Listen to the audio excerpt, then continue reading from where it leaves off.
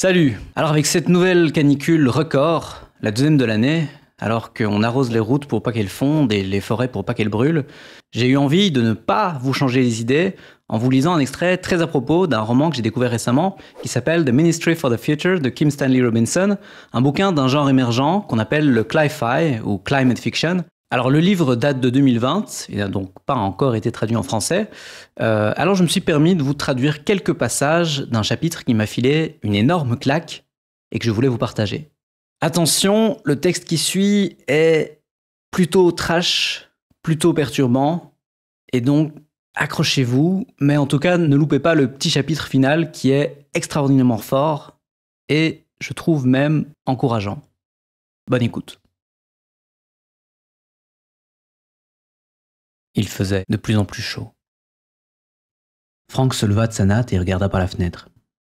Des murs et des tuiles en stuc cambré, de la couleur de l'argile locale, des immeubles d'appartements carrés comme celui où il se trouvait, les patios sur les toits occupés par des résidents qui s'étaient installés là pour chercher le sommeil, vu la chaleur à l'intérieur. Un certain nombre d'entre eux se tenaient à présent au balcon et regardaient vers l'est. Le ciel était de la couleur des bâtiments, mélangé au blanc où le soleil allait bientôt se lever.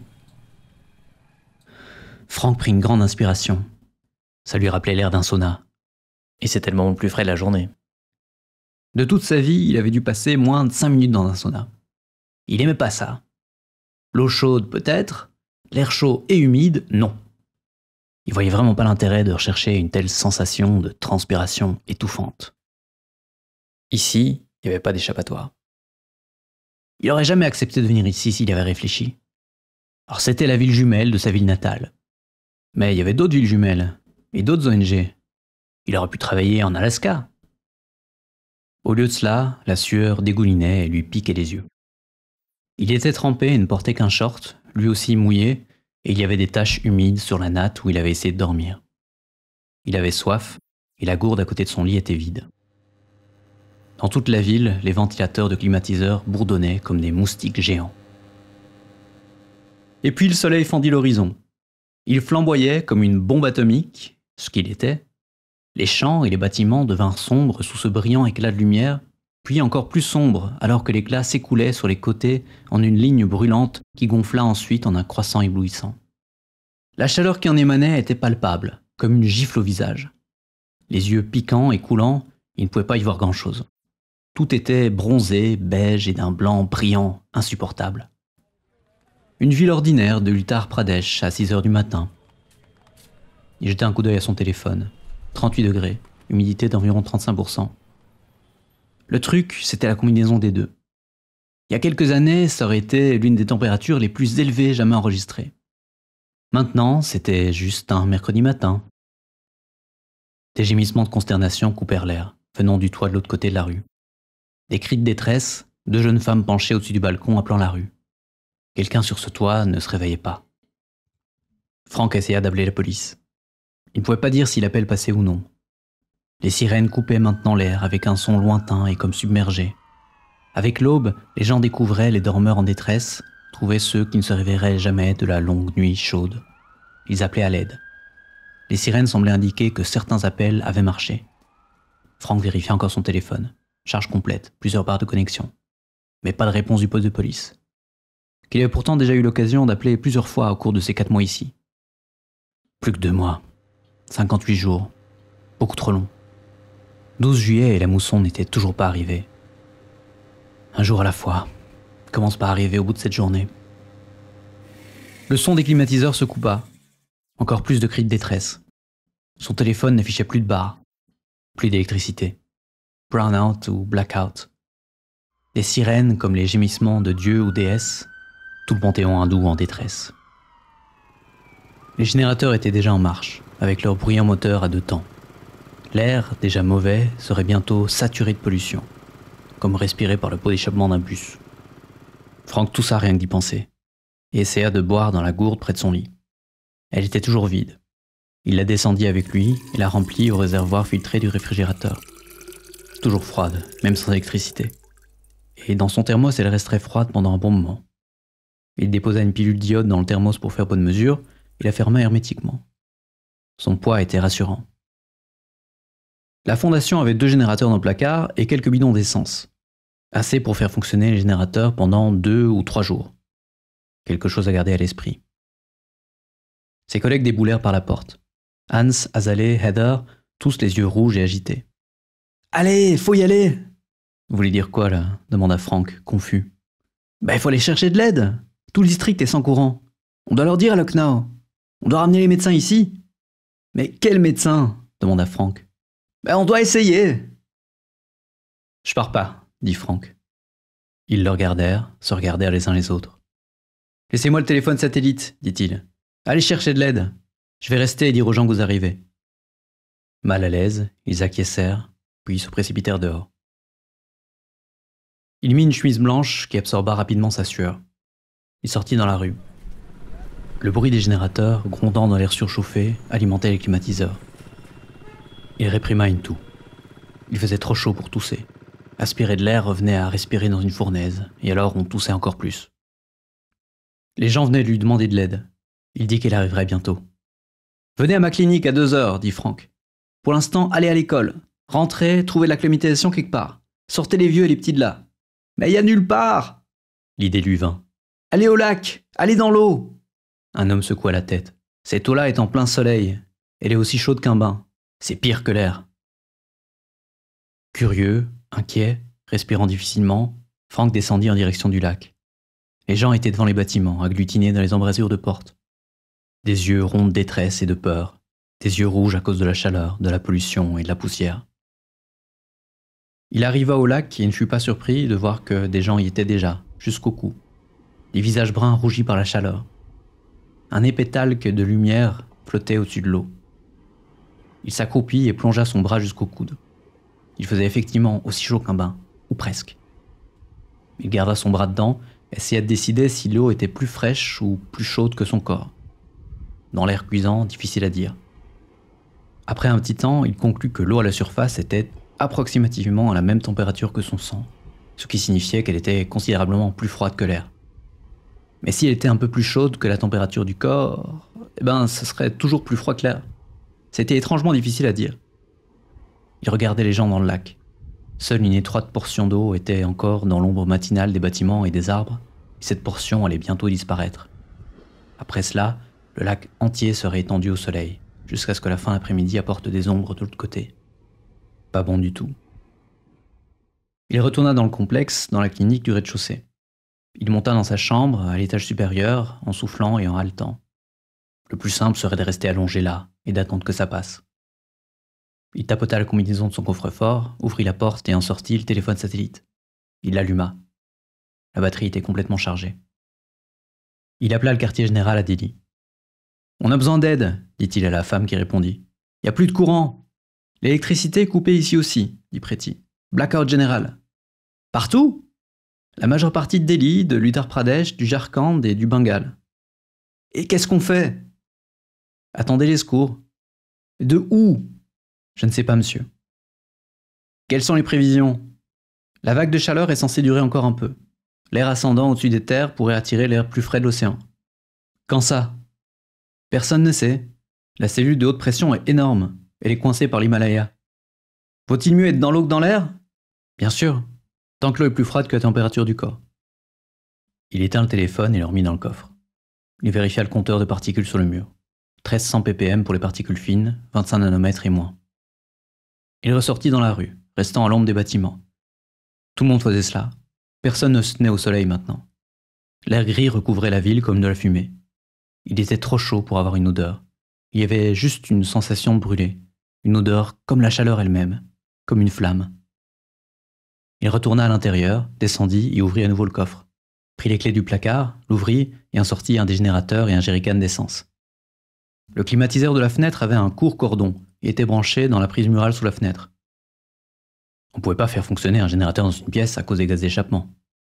Mais on ne pouvait pas non plus le faire fonctionner dans la rue sous la fenêtre, car il serait sûrement volé. Les gens étaient désespérés. Alors, il retourna à l'armoire, fouilla, trouva une rallonge. Il monta vers le toit de l'immeuble qui avait un patio entouré d'un rempart et se trouvait à quatre étages de la rue. Démarrage du générateur qui s'étouffe et s'agite jusqu'à sa percussion en deux temps. Première bouffée de fumée, après quoi le gaz d'échappement n'était plus visible. Mais c'était bruyant, les gens l'entendraient. Ils pouvaient entendre les autres autour de la ville. Descendre les escaliers jusqu'au bureau supérieur, brancher le climatiseur, l'allumer. Bourdonnement grinçant de la climatisation, afflux d'air. Oh mon dieu, ça déconne. Ah non, ça marche. Baisser la température de l'air de 10 ou 20 degrés, ce qui faisait encore dans les 30 degrés, voire plus. À l'ombre, ça irait. Les gens pouvaient supporter ça, même avec l'humidité. Juste se reposer et être tranquille. Et l'air plus frais descendrait par les escaliers et remplirait tout le bâtiment. Il sortit dans la rue et ferma la porte. Il se dirigea vers l'école la plus proche. Une petite boutique à proximité vendait de la nourriture et des boissons aux étudiants et leurs parents. L'école était fermée, le magasin aussi, mais les gens étaient là, il en reconnut certains. J'ai l'air conditionné à la clinique, leur dit-il. Venez Un groupe le suivit en silence. Sept ou huit familles, dont les propriétaires du magasin, verrouillant leurs portes après eux. Les hommes précédaient les femmes qui rassemblaient les enfants et essayaient de les faire rester à l'ombre. Les conversations étaient en awadi, pensait Franck, ou en pourri. Franck n'avait que quelques bases d'hindi, comme il le savait. Il communiquait dans cette langue s'il voulait lui parler ou se concerter avec quelqu'un qui lui parlait en anglais.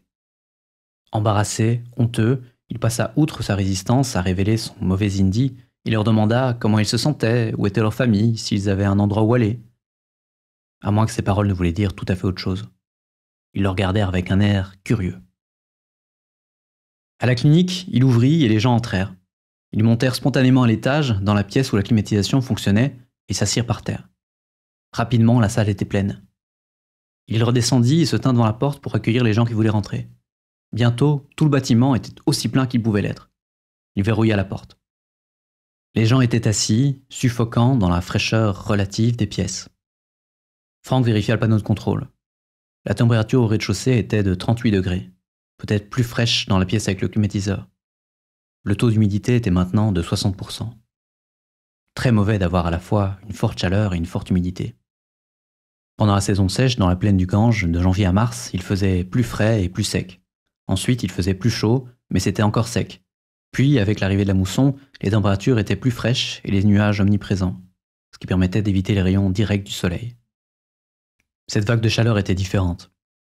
Une chaleur sans nuages et pourtant avec une forte humidité. Une combinaison terrible. À un moment donné, les toilettes cessèrent de fonctionner. Franck laissa les gens sortir au besoin pour qu'ils puissent aller dans les ruelles quelque part, comme dans les villages des collines au Népal où il n'y avait pas de toilettes. Parfois, les gens se mettaient à pleurer et des petites foules les entouraient. Des aînés en détresse, des enfants en détresse. Ils mettaient des seaux dans les toilettes et quand ils étaient pleins, ils les sortaient dans les rues et les versaient dans le caniveau, puis les ramenaient. Un vieil homme mourut. Franck aida les hommes plus jeunes à porter le corps jusqu'au patio sur le toit, où ils enveloppèrent le vieil homme dans un drap fin, peut-être un sari. Ce fut pire plus tard, dans la nuit, quand ils durent en faire de même pour un bébé. Tout le monde pleurait alors qu'il portait le petit corps sur le toit. Franck vit que le générateur était à court de gaz, et il descendit dans le placard pour prendre le bidon d'essence et le remplir à nouveau. Sa gourde était vide, les robinets ne coulaient plus. Il y avait deux grands bidons d'eau dans le réfrigérateur, mais il n'en parla pas. Il remplit sa gourde dans l'un d'eux, dans l'obscurité. L'eau était encore un peu fraîche. Il se remit au travail. Quatre autres personnes moururent cette nuit-là. Au matin, le soleil se leva à nouveau comme la fournaise ardente de chaleur qu'il était, soufflant sur le toit et son triste chargement de corps enveloppés. Chaque toit, et en regardant la ville, chaque trottoir, était maintenant une morgue. La ville était une morgue, il faisait plus chaud que jamais. Le thermomètre indiquait 42 degrés et un taux d'humidité de 60%. Franck regarda les écrans d'un air absent. Il avait dormi environ trois heures, par bribes. Le groupe électrogène ronronnait toujours dans sa course irrégulière à deux temps, le climatiseur vibrait toujours comme un mauvais ventilateur qu'il était, et le bruit des autres générateurs et climatiseurs emplissait encore l'air. Mais ça n'allait pas faire de différence. Il descendit, ouvrit le coffre et appela à nouveau Pretty sur le téléphone satellite. Après 20 ou 40 essais, elle décrocha. Qu'est-ce qu'il y a? Écoutez, on a besoin d'aide. On est en train de crever ici. Qu'est-ce que vous croyez dit-elle furieusement. Vous pensez que vous êtes les seuls? Non, mais on a besoin d'aide. On a tous besoin d'aide s'exclama-t-elle. Franck fit une pause pour ruminer cela. Pretty était à délit. Tout va bien par chez vous? Pas de réponse. Pretty avait raccroché. Ses yeux lui piquaient à nouveau. Il les essuya, remonta à l'étage pour aller chercher les seaux dans la salle de bain, Il se remplissait plus lentement maintenant. Les gens se vidaient. Sans approvisionnement en eau, il devrait bientôt aller ailleurs, d'une manière ou d'une autre. Quand il revint de la rue et ouvrit sa porte, il y eut une bousculade, il fut projeté à l'intérieur. Trois jeunes hommes le maintinrent au sol, l'un d'entre eux avec un pistolet noir à canon carré. Il pointa l'arme et Franck regarda le cercle rond du canon pointé sur lui. Ne bouge pas, dit un des autres hommes. Bouge et tu meurs. Des cris venant de l'étage suivirent la progression des intrus. Les sons étouffés du générateur et de la climatisation s'interrompirent. Ils n'étaient pas très nombreux. Franck essayait de respirer le moins possible. La pression sur son œil droit était féroce, mais il se contentait de le fermer et de fixer résolument l'autre œil. Il sentait qu'il devait résister, mais il voulait vivre. C'était comme s'il observait toute la scène depuis l'entretage, hors de son corps et de toutes les sensations qu'il pouvait éprouver. La bande de jeunes hommes descendit avec le générateur et le climatiseur. Ils sortirent du bâtiment. Les hommes qui retenaient Franck le lâchèrent. On a besoin plus que vous, expliqua l'un d'eux. L'homme au pistolet grogna en entendant ça. Il pointa son arme sur Franck une dernière fois. C'est vous qui avez fait ça, dit-il. Puis ils claquèrent la porte sur lui et ils étaient partis. Franck se leva, se frotta les bras là où les hommes l'avaient agrippé. Son cœur battait toujours la chamade. Il avait mal au ventre. Des gens descendirent au rez-de-chaussée et lui demandèrent comment il allait. Il s'inquiétait pour lui, craignait qu'il ait été blessé. Cette sollicitude le transperça, et soudain il ressentit plus qu'il ne pouvait se permettre de ressentir. Il s'assit sur l'escalier le plus bas et cacha son visage dans ses mains, rongé par un paroxysme soudain. Ses larmes rendaient ses yeux moins brûlants. Finalement il se leva. Nous devons aller au lac, dit-il. Il y a de l'eau là-bas, et il fera plus frais. Plus frais dans l'eau et sur la rive. Plusieurs femmes avaient l'air mécontentes à cette idée, et l'une d'elles dit Tu as peut-être raison, mais il y aura trop de soleil. Nous devrions entendre la nuit. Franck hocha la tête. C'était logique. Le jour passa. Les plaintes de chagrin s'étaient transformées en gémissements. Les gens avaient trop chaud et trop soif pour faire du bruit, même quand leurs enfants mouraient. Des yeux rouges dans des visages bruns, fixant Franck qui trébuchait parmi eux, essayant d'aider et de monter les corps des membres de la famille sur le toit, où ils brûlaient au soleil. Les corps allaient pourrir, mais peut-être allaient-ils sécher avant, il faisait si chaud. Aucune odeur ne pouvait survivre à cette chaleur, seulement l'odeur de l'air chaud et brûlant. Ou peut-être pas, l'odeur soudaine de la viande pourrie. Personne ne s'attardait ici à présent. Franck compta quatorze corps enveloppés, adultes et enfants. En bas, la nourriture et les boissons étaient déjà partis. Franck fit le compte. Quelque chose comme 52 personnes dans la clinique. Il s'assit sur les marches pendant un moment, puis alla au placard et inspecta son contenu. Il remplit sa gourde d'eau, but à grosses gorgées, la remplit à nouveau. Elle n'était plus fraîche, mais pas chaude. Il y avait le bidon d'essence. Il pourrait brûler les corps s'il le devait. Il y avait un autre générateur, mais il n'avait rien à alimenter qui puisse être utile. Le téléphone satellite était encore chargé, mais il n'y avait personne à appeler. Il s'était demandé s'il devait appeler sa mère. Allô maman, je suis en train de mourir. Non. La journée s'écoula lentement jusqu'à sa dernière heure. Puis Frank se concerta avec le propriétaire du magasin et ses amis. Dans un murmure, ils convinrent tous qu'il était temps d'aller au lac. Ils réveillèrent les gens, aidèrent ceux qui en avaient besoin à se lever, à descendre les escaliers. Quelques-uns ne pouvaient pas le faire. C'était problématique. Quelques vieillards leur dirent qu'ils resteraient en arrière aussi longtemps qu'on aurait besoin d'eux, puis qu'ils viendraient au lac. Ils dirent au revoir aux personnes qui partaient comme si tout était normal, mais leurs yeux en disaient long. Beaucoup pleuraient en quittant la clinique. Ils titubèrent dans les ombres de l'après-midi jusqu'au lac, plus chaud que jamais. Personne dans les rues sur les trottoirs, pas de gémissements en provenance des bâtiments. Encore quelques générateurs qui grondent, quelques ventilateurs qui grincent. Le son semblait rabougri dans l'air livide. Au lac, ils trouvèrent une scène désespérée.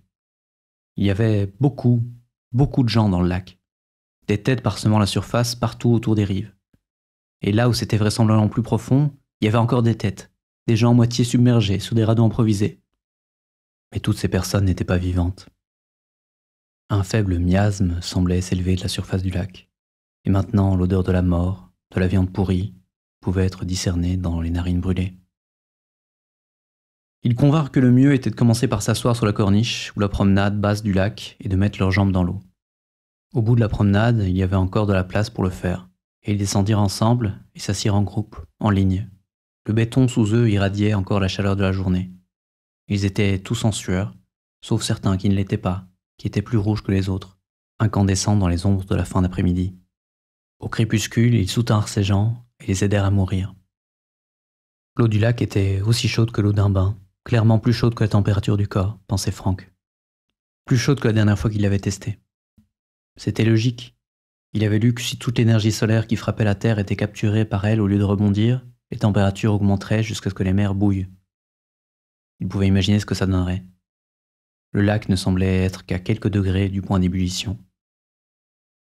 Et pourtant, quelque temps après le coucher du soleil, alors que le crépuscule rapide passait et que la nuit tombait, ils se sont tous mis à l'eau. C'était mieux comme ça. Leur corps leur dit de le faire. Ils pouvaient s'asseoir sur la partie la moins profonde du fond du lac, la tête hors de l'eau, et essayer d'endurer. Assis aux côtés de Franck, il y avait un jeune homme qui l'avait vu jouer le rôle de Carnat dans l'une des pièces jouées au Mela local. Et Franck se sentit percé à nouveau, comme lorsque les gens s'étaient souciés de lui, par le souvenir du jeune homme au moment où Arjuna avait rendu Carnat impuissant d'une malédiction prononcée et était sur le point de le tuer. Et le jeune homme avait crié triomphalement Ce n'est que le destin portant un dernier coup avant de tomber sous l'épée implacable d'Arjuna. Maintenant le jeune homme sirotait l'eau du lac, les yeux ronds d'effroi et de chagrin. Franck dut détourner le regard. La chaleur commençait à lui monter à la tête. Il brûlait d'envie de sortir de ce bain trop chaud et de courir comme on le ferait d'un sauna vers le lac glacé qui devait accompagner ce genre de sauna, de sentir le choc béni du froid qui lui arrache le souffle des poumons comme il l'avait ressenti une fois en Finlande. Les gens là-bas parlaient d'essayer de maximiser la différence de température, de changer de 100 degrés en une seconde et de voir ce que ça faisait. Mais penser à ça, c'était comme gratter une démangeaison et donc l'aggraver.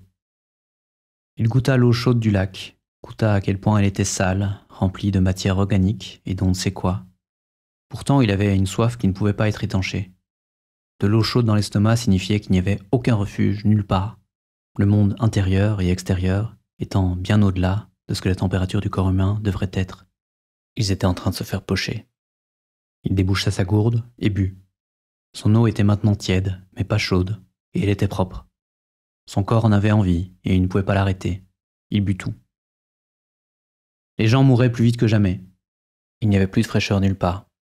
Tous les enfants étaient morts, tous les vieux étaient morts. Les gens murmuraient ce qui aurait dû être des cris de chagrin. Ceux qui pouvaient encore bouger poussaient les corps hors du lac ou vers le milieu où ils flottaient comme des bûches, ou coulaient. C'était une nuit sans lune.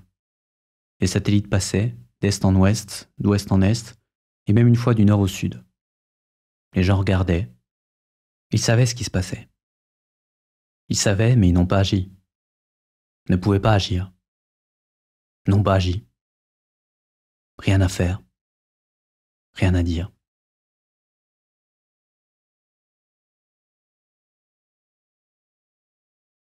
Suite à la grande vague de chaleur indienne, la réunion d'urgence des signataires de l'accord de Paris fut houleuse. La délégation indienne arriva en force et sa chef, Chandra Mukherjee, dénonça avec virulence la communauté internationale et son incapacité quasi totale à respecter les termes de l'accord que toutes les nations de la planète avaient signés. Les réductions d'émissions ignorées, les versements au fonds d'investissement pour la décarbonation non effectués, dans toutes ces dimensions, l'accord avait été ignoré. Une performance sans substance, une blague, un mensonge. Et maintenant l'Inde en avait payé le prix. Cette vague de chaleur avait fait plus de victimes que toute la Première Guerre mondiale. Et tout cela en une seule semaine et dans une seule région du monde. La tâche d'un tel crime ne disparaîtrait jamais. Elle resterait à jamais. Personne n'eut le cœur de faire remarquer que l'Inde n'avait pas non plus atteint ses objectifs de réduction d'émissions. Bien sûr, si on comptait les émissions totales au cours de l'histoire, l'Inde se classerait loin derrière toutes les nations développées du monde occidental, comme chacun le savait. Pour faire face à la pauvreté qui frappe encore une grande partie de la population indienne, le gouvernement avait dû produire de l'électricité aussi rapidement que possible, et puisqu'il s'inscrivait dans un monde régi par le marché, aussi peu coûteux que possible. Sinon, les investisseurs extérieurs n'auraient pas investi, car le taux de rendement n'aurait pas été assez élevé. Donc ils avaient brûlé du charbon, oui, comme tout le monde l'avait fait jusqu'à quelques années auparavant. À présent, l'Inde se faisait intimer de ne pas brûler de charbon, après que tout le monde avait fini d'en brûler suffisamment pour accumuler assez de capital pour transitionner vers des sources d'énergie plus propres. L'Inde s'est vu dire de s'améliorer sans aucune aide financière. On lui avait dit de se serrer la ceinture et d'embrasser l'austérité, d'être la classe ouvrière de la bourgeoisie du monde développé, et de souffrir en silence jusqu'à ce que les temps meilleurs arrivent. Mais les temps meilleurs n'arriveraient jamais. Ce plan était fichu. Les jeux étaient faits, la partie était terminée. Et maintenant, 20 millions de personnes étaient mortes. Les personnes présentes dans la grande salle de congrès étaient assises en silence. C'était pas le même silence que celui du moment commémoratif précédent, une période rituelle de silence pour honorer la mémoire des morts qui s'était prolongée minute après minute. Maintenant, c'était le silence de la honte, de la confusion, de la consternation, de la culpabilité. La délégation indienne avait fini de parler, il n'avait plus rien d'autre à dire. Il était temps de réagir, de leur répondre, mais il n'y avait pas de réponse. Rien ne pouvait être dit. C'était ce que c'était. L'histoire, le cauchemar dont il ne pouvait pas se réveiller. Finalement, la présidente de l'organisation de l'accord de Paris de cette année-là, une femme du Zimbabwe, se leva et monta sur le podium. Elle étreignit brièvement Chandra, fit un signe de tête aux autres Indiens présents sur scène et prit le micro. De toute évidence, nous devons faire mieux, déclara-t-elle. L'accord de Paris a été créé pour éviter des tragédies comme celle-ci. Nous sommes tous dans un seul et même village mondial maintenant. Nous partageons le même air et la même eau, et cette catastrophe est donc arrivée à nous tous. Comme nous ne pouvons pas l'annuler, nous devons en tirer parti d'une manière ou d'une autre. Sinon, deux choses se produiront, les crimes commis resteront impunis, et d'autres catastrophes de ce type se produiront. Nous devons donc agir. Nous devons enfin prendre la situation climatique au sérieux comme la réalité qui prime sur tout le reste. Nous devons agir en fonction de ce que nous savons. Tout le monde hocha la tête. Il ne pouvait pas applaudir, pas maintenant, mais il pouvait hocher la tête. Il pouvait lever les mains, certains les poings serrés, et s'engager à agir. C'était très bien. C'était un moment. Peut-être même un moment à retenir. Mais très vite, ils en étaient revenus au marchandage habituel des intérêts et des engagements nationaux. La catastrophe s'était produite en Inde, dans une partie du pays où peu d'étrangers se rendaient jamais, un endroit réputé très chaud, très peuplé et très pauvre. Il est probable que d'autres événements de ce genre se produiront à l'avenir, principalement dans les nations situées entre les tropiques du Capricorne et du Cancer, et les latitudes situées juste au nord et au sud de ces lignes, entre le 30 nord et le 30 sud, c'est-à-dire les régions les plus pauvres du monde. Au nord et au sud de ces latitudes, des vagues de chaleur mortelles pouvaient se produire de temps à autre, mais pas aussi fréquemment et pas aussi mortellement. Il s'agissait donc en quelque sorte d'un problème régional. Et chaque endroit avait ses problèmes régionaux. Ainsi, une fois les funérailles et les gestes de profonde sympathie terminés, de nombreuses personnes dans le monde, ainsi que leur gouvernement, reprirent leurs activités habituelles. Et partout dans le monde, les émissions de CO2 continuèrent. Pendant un certain temps, il semblait donc que la grande vague de chaleur serait comme les fusillades de masse aux États-Unis, pleurée par tous, regrettée par tous, puis immédiatement oubliée ou remplacée par la suivante, jusqu'à ce qu'elles arrivent à un rythme quotidien et deviennent la nouvelle normalité. Il semblait tout à fait possible que la même chose se produise avec cet événement, la pire semaine de l'histoire de l'humanité. Combien de temps cela resterait-il la pire semaine? Et que pouvait-on y faire? Il est plus facile d'imaginer la fin du monde que la fin du capitalisme. Le vieux dicton avait pris des dents et prenait une précision littérale et vicieuse. Mais pas en Inde. Des élections eurent lieu et le parti nationaliste et nativiste BJP fut chassé du pouvoir, jugé incompétent et en partie responsable du désastre, ayant vendu le pays à des intérêts extérieurs, brûlé du charbon et saccagé le paysage, dans la poursuite d'une inégalité toujours plus grande. Un nouveau parti fut porté par les urnes.